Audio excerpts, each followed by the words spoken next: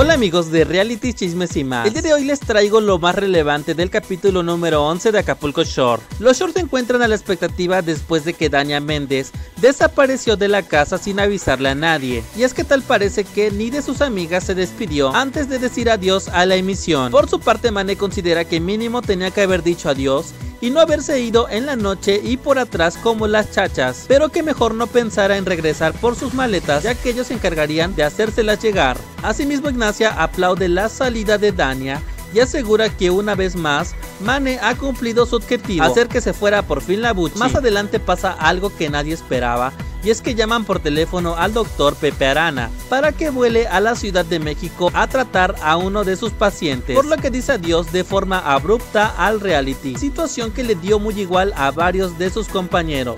Asimismo Ramiro Jiménez es informado que tenía que irse de igual manera a la Ciudad de México para poder firmar unos papeles importantes. Pero para sorpresa de todos, varios piensan que él ya tenía planeada su salida al igual que Pepe, ya que aseguraban que probablemente al doctor alguien lo esperaba afuera. Los Shore están a la espera de que lleguen las personas que los van a preparar para el carnaval, pero se siguen preguntando qué pasó con Dania y ahora la mayoría piensa que se fue con el novio y dejan de creerle a Rocío que no sabe dónde está su amiga. Jay opina que Dania es muy orgullosa como para haberse despedido de ellos, mientras que Potro le da vueltas y concluye con que Dania sería muy tonta si se va, porque le habrá dado gusto a Manelik. De un momento a otro suena el timbre de la casa y entra Dania Méndez ante la sorpresa de Mane, Yago y Karime. En esta ocasión Dania empieza saludando a todos e inicia su despedida en donde agradece haber estado en las vacaciones aunque haya pasado lo que haya pasado. Y una vez más le pide disculpas a Mane por lo del vaso. Mane por su parte cree que Dania no se quiere nada porque les dio el gusto de haberla tratado mal. Y Dania solo aguantaba y aguantaba. Así que la bucha explica que la razón para irse es porque su novio llega a México